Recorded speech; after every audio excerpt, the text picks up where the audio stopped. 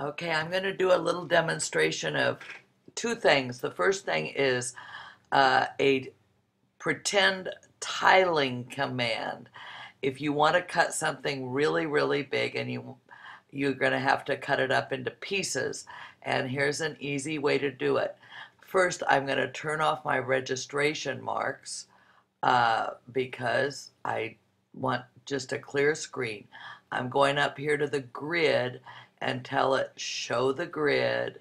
And you can also turn on snap to grid and I want my spacing to be every inch so that one of these squares is an inch. And now I'm going to paste something, a little uh, image from my clipboard. And it's this little girl. And I'm going to turn her sideways. And if you don't know, when you go to turn things, if you hold down shift, it will turn exactly 90 degrees. I'm going to put her at the top and I'm going to make her as big as I can make her and that I could still cut and I'm going to put her as close to what I perceive the middle to be as possible. And then I'm going to click on the knife tool. Now I have the updated version so I have more choices but I don't need any more choices. I'm just going to click on the regular old knife tool. I'm going to put it about halfway and I'm going to hold down the shift key before I while I start and it will absolutely cut straight across and then I'm going to click on it again and I'm going to try to cut down the middle what I think is the middle again and now each piece is separate.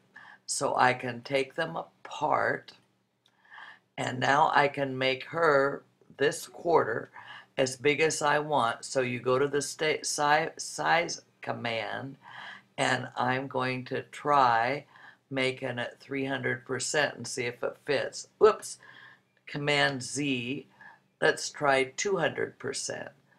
Fits well um, I could play around a little more. Once I figure it out, I'm going to take every piece. I'm going to see how the feet go at 200%. Oh, got to select it. I'm always forgetting to do that. Well, it's too big, so I'm going to have to choose something else. But you need to fiddle around, Command Z.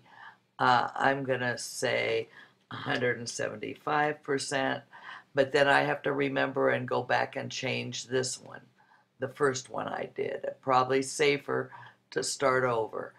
Um, what I should have done is start with the biggest piece first. And then I have four pieces that I can do.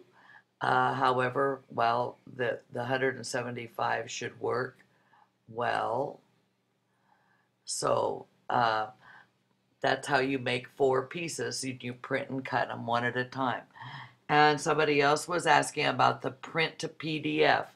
What you do is you go up to File and go to Print. And I have two ways I can do it on my printer. Where you choose your printer, I can choose Adobe PDF 9.0 because I have that.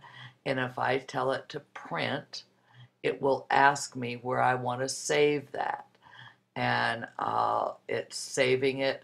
Uh, it adds a Silhouette Studio Designer Edition to the fir first part of your uh, title, which I'm not nuts about. So I usually erase that and it says Halloween 10 PDF and I save it to my desktop and then I can't show you on this thing, but I can open it up. My, my other choice with this printer is right down here in the lower left. Uh, it says PDF and I can save it as a PDF. So anyway, that's the two ways. See, once again, it tells me that I can do it. So anyway, that's everything I know about pretending to tile and saving as a PDF. Bye.